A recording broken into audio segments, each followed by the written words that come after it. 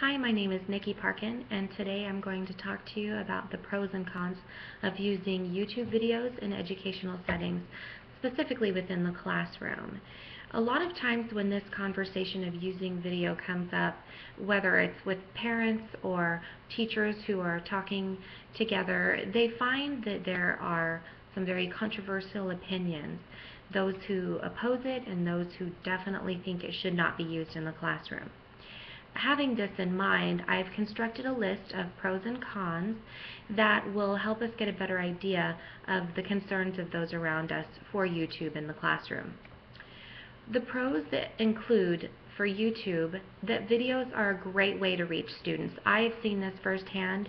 Visual content can enhance lessons and learning, especially for auditory or visual learners. It's also used as a great attention getter to start a unit or to segue to another topic. Um, additionally, to wrap up a unit even. Another pro that has been found is that there's access to many videos that have great educational content and messages.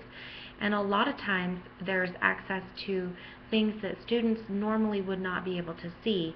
For example, a student in Idaho could take a tour of the Eiffel Tower and learn about the history of the, the building. Um, YouTube for Schools has been created by Google recently, and within this, schools can now limit access to selected content. For example, blocking comments that are uh, unavailable now for students to see, as well as linking only to other educational videos that are related to the topic that you've been searching. Another pro that has been found for YouTube videos is that they are free. These are educational materials that can be used within classrooms and there's no cost to the teacher or no cost to the school district, which is great when all those small budgets out there are really making people pinch their pennies. The other side includes a list of cons that I have heard numerous parents voice as, as their concerns. First and foremost is the fact that it is a public site and there are inappropriate videos. This has definitely been observed. Um, another problem that has been seen or has been a concern is that there are racy or offensive comments below the videos. Uh, the thing that we had mentioned earlier, though, was that the YouTube for Schools now has kind of taken that out of play. However, there is still the concern there for parents. Because it is a public site, another concern is inaccurate content. Uh, we don't want to be teaching our students the wrong thing here. That is why teachers should also make sure that they view and, and preview the content before showing to their students.